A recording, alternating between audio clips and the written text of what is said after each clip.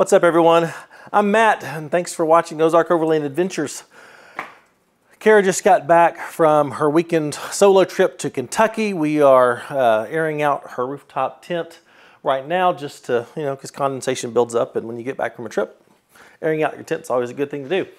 Um, but as we have, you know, just been tinkering around the Jeeps and, you know, doing little, doing little things like that, um, it got me thinking about how we have built these Jeeps. When we got both of these Jeeps, we knew exactly how they were gonna be wheeled. We knew how they were gonna be built and for the purpose that they were gonna be built.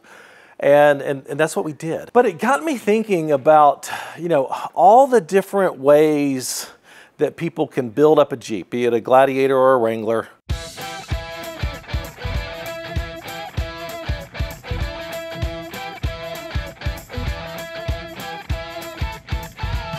And just how much money people waste.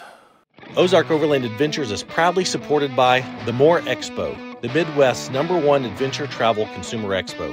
Artemis Overland Hardware, they have one of the largest selections of overlanding gear available. Big Iron Overland Rally, where Overland Expo meets Music Festival. Shop Overland Apparel, your source for Ozark Overland Adventures merchandise and more.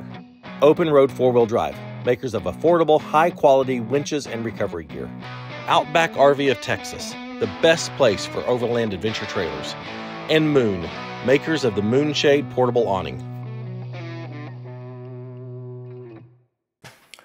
When it comes to off road vehicles on the road today, I mean, can you get one any more iconic than a Jeep Wrangler? And now, by extension, a Gladiator, because, I mean, let's be real, Gladiator's just a Wrangler with a truck bed. But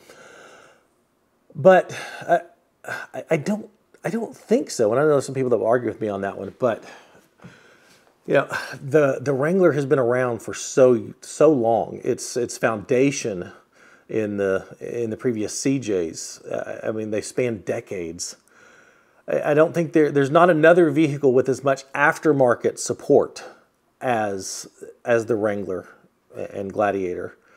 Uh, it's just incredible the amount of stuff that companies make for these things. I don't think there's another off-road rig that's as customizable as this. I don't know that there's another vehicle, period, that is as customizable as a Wrangler and a Gladiator.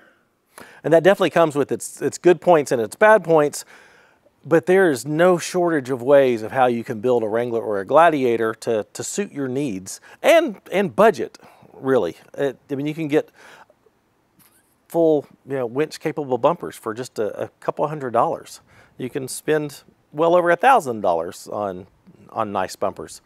Um, lifts, you, you, can get you know you can lift a, a, Wrangler two and a half inches for just a couple hundred bucks, or you can spend you know five six grand on a lift kit uh, for this. So the sky's the limit on to how much you can customize these things. Um, but that also opens up some horrible choices that people make. Just to be real, I'm gonna be real transparent here. Probably gonna ruffle, ruffle some feathers in this video, but this comes out of years of experience of owning these vehicles. Uh, between my wife and I, we have owned a total of five Wranglers and one Gladiator. Um, I have owned two Wranglers. I uh, started with the 2008 JKU Sahara, Got a 2012 JKU Rubicon, now have the 2021 Gladiator. My wife started with a 2014 two-door JK Sport. Then she got a 2015 JKU Sahara and brief stint with a, a Grand Cherokee thrown in there and now has the 2021 uh, Wrangler Rubicon uh, Extreme Recon package. And so having all those Jeeps, having built them all completely different ways, completely different mentalities, um, I think we've learned some lessons. From all the experiences we've had, I think there's a lot of ways that people waste money building a Jeep. And this is all my opinions. I'm sure people will argue with me in the comments, and that's fine. Uh, but this comes from years of experience building them and building them for a purpose. Um, and that is very capable off-road rigs. Uh, I will say, if you intentionally, and there's no shame in this, just, you know, there's no shame in this, just own it. But if you are building a mall crawler, if you're building a pavement princess and have no intention of taking yours off road, but you just want it to, to look awesome, um, then take everything that I'm going to say and reverse it. Everything I say to not spend money on, just go ahead and spend the money there because that's going to be the best mall crawler that you can get. Um, but I think one of the one of the key areas that people waste a lot of money on is lights. And I say that with the very expensive KC Gravity Pro 6 light bar in the background, and that's on purpose. If you have seen previous videos about the build of the Gladiator, um, my wife bought that before we were married against my recommendation, but we have it. It's very nice. It does put out a crap ton of light, and so I, I have it. Um, but people just go ridiculous on lights. And most of the people never wheel at night. I mean, people are putting, you know, two 50 50 inch light bars on top of their Jeep. Two of them because the light output from one isn't enough. And then they stack a, a, you know a 20 or a 30 inch on the hood, which has got to be the worst possible place you could put a light bar because 50% of that light output is being wasted and blocked by your hood. I, I don't understand that. Uh, and it, it also blocks some visibility as well. So a light bar on the hood, horrible mistake. Um, then they put you know one or two cubes on each A-pillar. Then they come to the bumper and add lights here. So, and they're not even wheeling at night. So it's, just for looks. Um, but we, we have outfitted ours um, very intentionally. Uh, because I had the light bar, I'm using the light bar. And then from there, I've got uh, the little uh, Denali's D4 cubes.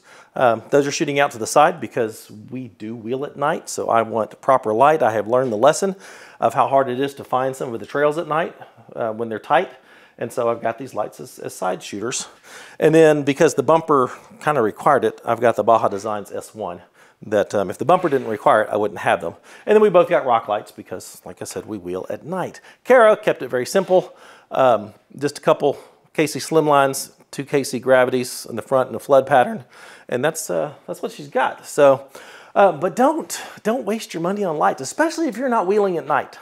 Um, if, if I didn't have the KC, I would put a 12 inch light bar just up here on the front with the two side shooters and that would be all I would have because um, that is plenty of light. I had that set up on my, my black JK Rubicon and that was, I had a light bar too, but I, I didn't ever use it um, because I didn't know better.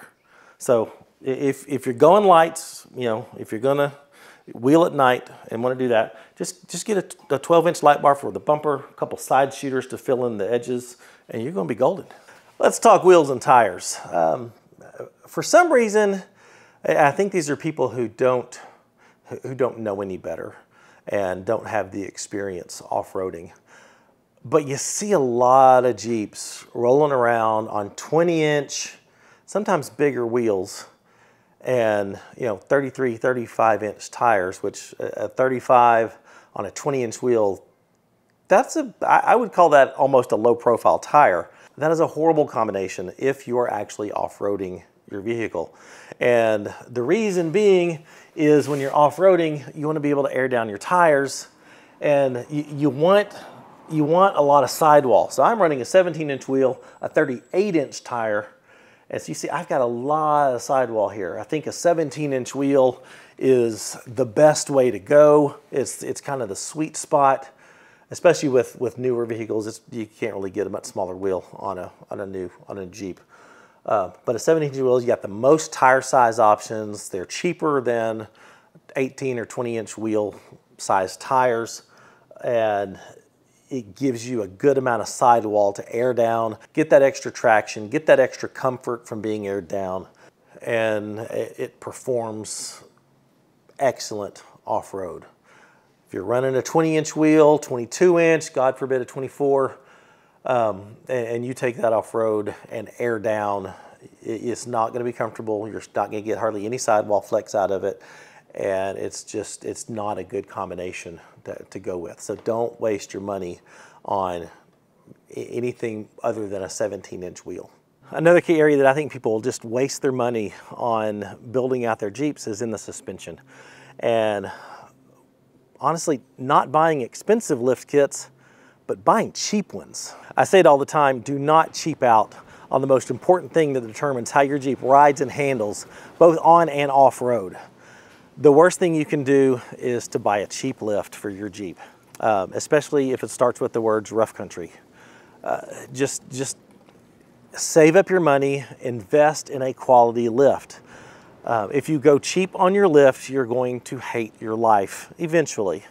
Um, there's obviously people out there that's like, oh, I've run country on every Jeep since, you know, 20 years and this ride's just great. Well, I'm sorry your standards are so low. But those who say, oh, the handling, all that sort of stuff, it, the poor handling, the, the poor ride quality, oh, it's just a Jeep thing. Well, they've never had a quality lift on their Jeep. Um, I started out with a cheap lift on my, my, first, uh, my first JKU and it, it, I paid the price for it, even with just a small lift. If you don't have uh, something like adjustable lower control arms to correct your, your geometry and your caster, then your Jeep, when you hit a bump, it's going to dart and it's going to wander. Um, if you have a quality lift that includes all the necessary components to dial in that geometry, then it's not going to dart. It's not going to wander. It's going to drive straight when you take your hands off the wheels. Uh, you know, I can drive 85 down the interstate and it will drive straight and true. My wife can too because we went with quality lifts on our Jeeps and it makes a massive difference.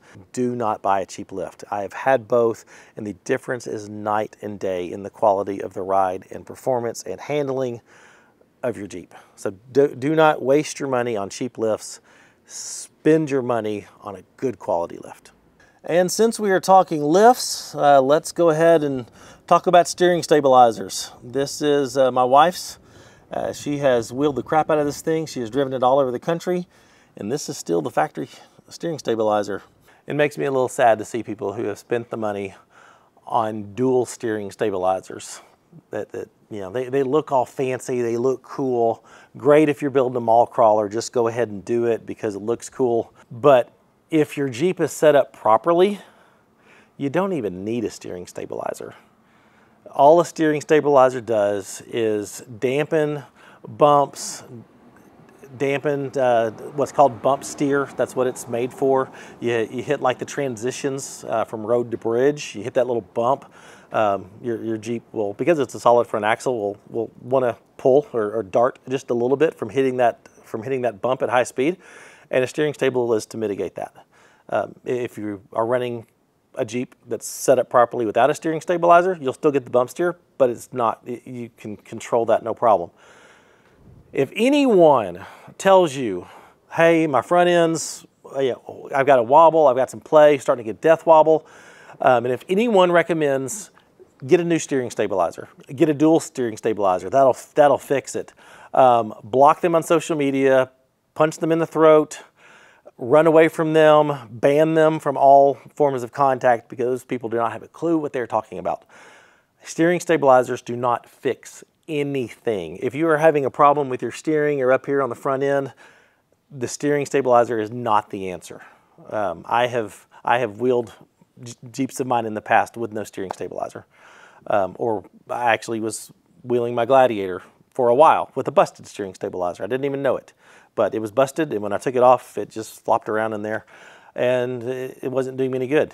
But my suspension was dialed in to the point that it didn't matter. The factory steering stabilizer, if everything's set up right, is all you need. If you're having issues, your steering stabilizer is not the problem. you have got other issues. Maybe tie rod ends are loose, or control arm bushings are gone bad, or you know drag links loose, or something like that. Ball joints may be bad. Uh, wheel hubs may be going bad, but it's it's not your steering stabilizer. So don't waste your money on uh, on fancy steering stabilizers or especially dual stabilizers. Just just don't even unless you're building a mall crawler and then they're cool. All right, this is one that sounds like a really good idea from the factory because with the with the JLs and the JTs, Jeep started offering Gorilla Glass as an option for for the windshields. Don't do it don't. If I mean, we Kara's Jeep has Gorilla Glass because we bought it off a lot, and that's what it came with. So we didn't have, we weren't custom building it ourselves, but it came with Gorilla Glass. Well, it's it's got a great big crack in it because because it's a Jeep windshield and they're angled up high and they're rock magnets, and it's just part of the life in owning a Jeep is that you're going to get your windshield broken more often than not. So it's just one of those maintenance things. You save up your money and you replace your windshield. We both have large cracks in her windshield. I do not have a Gorilla Glass. She does. Um, and it's just part of it. We will be replacing her windshield, not with Gorilla Glass, uh, just, just regular glass because it's, it's going to get hit by rocks again and it's going to it's going to chip again and crack again. And this stuff is stupid expensive, like 800 eight to $900 and it's just a ma major waste of money. So if you're custom building your Jeep, don't don't do Gorilla Glass. It's it's not worth it at all, ever. Up next, um, another area where I think people waste money building a Jeep that they're going to wheel um, is is fender flares. Um, I have never run anything but the factory flares on my Jeeps, and there's one very key reason. These things are made of plastic. They are attached by just a bunch of little plastic clips. So if I am, am wheeling and you know something bad happens and I, I smack into a tree, um, this is going, this is plastic, it's going to deform. Worst case scenario, it's going to pop off the Jeep. A couple plastic clips, I can easily pop it back on. Uh, so I, I think if you're gonna be wheeling your Jeep, keeping the factory flares, and if not the factory flares, at least going with aftermarket ones that are also plastic and have, have some give to it, um, I, I, think that's the best way to go. Um, I think the mistake and the waste of money are those who decide to go with metal fender flares. And I mean, it sounds it sounds reasonable. Metal, it's it's stronger. You don't have the the flexing. You don't have the bending, and it, it's going to look better. It's going to you know retain its shape better. And those are definitely some you know some pros to having the the metal flares. But here's the issue. Like I said, this, you, you bump into a tree, you scrape it on a rock, it's gonna flex, it's gonna give. You, you know, it's, it's not going to do any more damage other than to your fender flare. And like I said, worst case scenario, it's gonna pop off. You go with a metal flare and you hit a tree, well, the metal flare is going to bend and be permanently damaged. Worst case scenario, that impact is going to transfer the force into the body panel, and then you're going to deform this and have issues with this as well. And that is, that, that is never good. Uh, it is, especially on the rear flares, those pivoting around trees and stuff, rocks, those are, uh, you know, those are obstacle magnets on, on the back end. But I have, you know, I've scraped mine on, on trees. I've kind of squished in the back from, you know, from time to time. And they just, they're plastic. They pop back into shape. If they pop off, you just pop them back on. Um, so I, I, think the factory flares are, are, the way to go if you're going to off-road it um, and risk potentially damaging the flares or other body parts uh, when you're wheeling it. So don't waste your money on the, the, the metal fender flares. Just, just stick with the plastic. This next one, I don't even have an example to show you uh, because I, I don't own one and won't own one. And that's a high lift jack. Don't, don't waste your money on a high lift jack. There's so many better options out there. Um, if you need to do a trail repair, high lift jacks are stupid heavy. They're stupid bulky. There's, unless you have a Gladiator and can throw it in the bed, there's no really good location to mount them on a Wrangler. A lot of people will get hood mounts, uh, which I think is, is not a good idea. It blocks visibility. If you were in a wreck and that hood mount were to fail, um, then you've got this incredibly heavy projectile that's going to do some damage to the people in front of you if it, if it broke loose. Um, I just carry the factory scissor jack. You, you they make little jack blocks. You, you take the block and you slide it under there and you jack it up under the axle the, where it's the lowest. And even with three inches, three and a half inches of lift and 38s, I can still jack up my tires if I need to change a flat or you know do something like that with my factory scissor jack. I've done it before. The, I think the best solution and one that I honestly need to look into is just a good bottle jack. They're small, compact, they can fit in, in your tote or in, under your seat. But a bottle jack, I think, is the best option. So if you're going to carry something other than the factory jack, get a bottle jack. Don't don't mess with don't mess with the high lift. They're the, it's, it's something you're probably not going to use. Something you probably are not going to learn properly how to use. And there's just a lot of things that go to go into to operating a high lift jack properly and safely. And you know, if you if you're just buying one to mount on the hood for show, I mean, if you like I said, if you're going to build a mall crawler, you have to compete with okay, is the high lift going on the hood or is the you know 20 inch, 30 inch light bar going on the hood? Because that's a tough decision to make if you're just building a mall crawler and want to look cool, you know, on the street. But if you're you know building a, an off-road rig that you're going to wheel, just just just don't. I see this question asked a lot still in all the social media groups, especially from especially from new Jeepers, um, especially from new people new to off-road, not just Jeepers, but but anyone new to off-road, and that is what uh, what's the best CB to buy? And you know, it, it, this is a classic. It's you know, it used to be the standard. But my uh, my answer all the time to what's the best CB to buy is none of them. Um, CB's dead.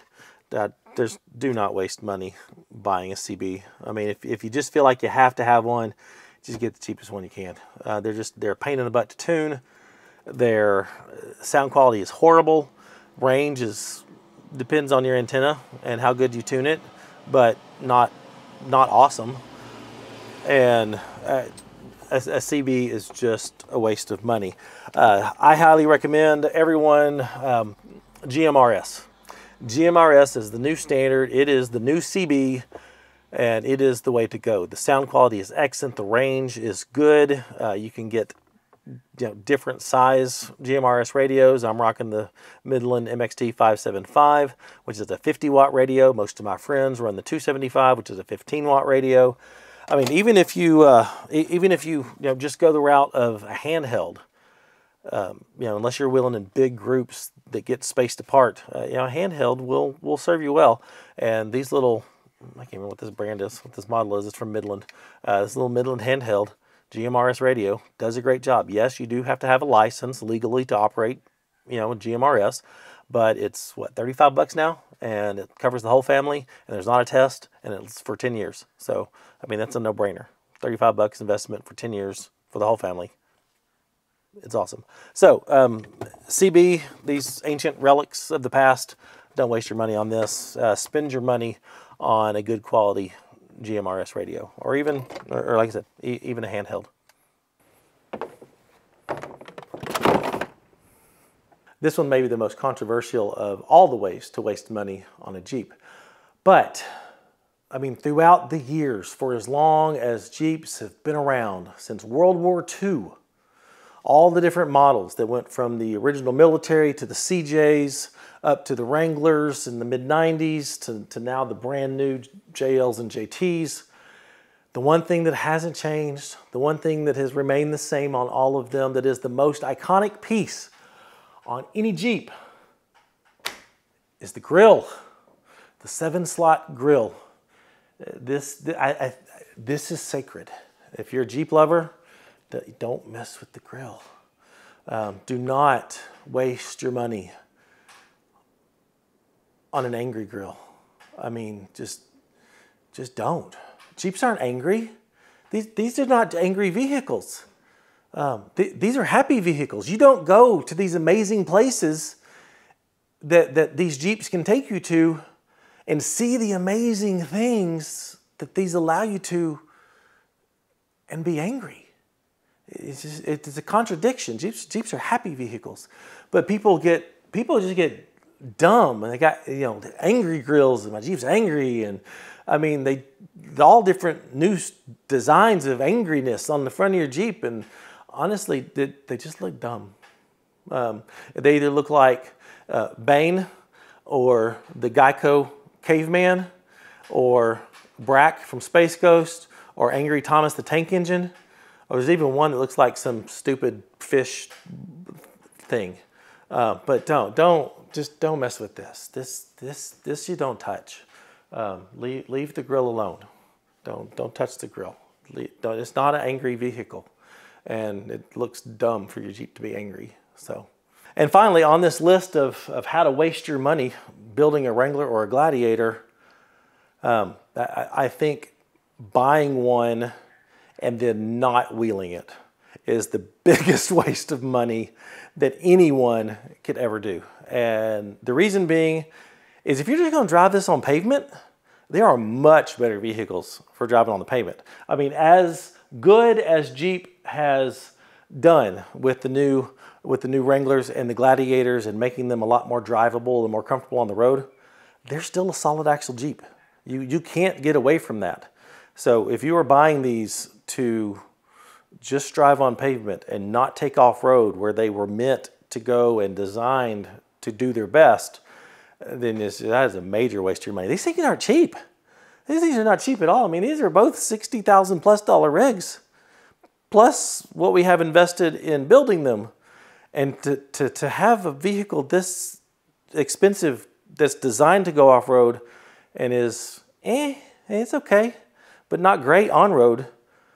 I mean, get a 4Runner, um, get a, you know, get some, get something else. Don't, don't buy a Jeep if all you're going to do is drive it on pavement.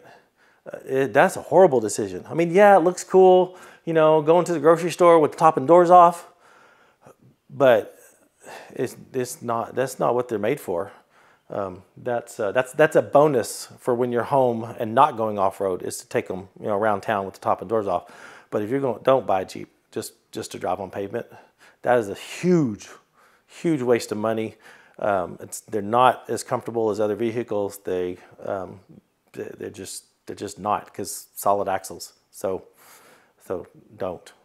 Um, my hope with this video is that if you're considering building a Jeep or really any off-road rig, a lot of this applies to, um, hopefully this will save you some money, give you some pointers on where to spend your money and get the most bang for the buck, get the really the best quality build out of your Jeep. Um, and the best experience when you are out exploring amazing places that these things were designed to take you to. So, do, do I absolutely love the Jeeps?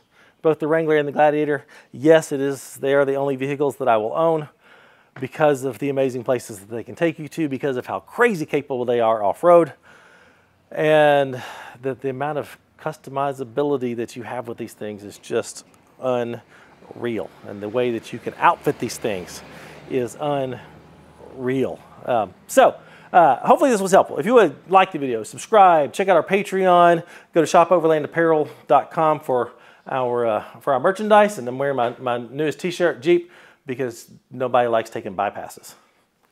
So, um, and I, I, don't like taking bypasses. So anyway, check out all that stuff. Give us some YouTube love, and we'll see you next time. Thanks for watching. Bye.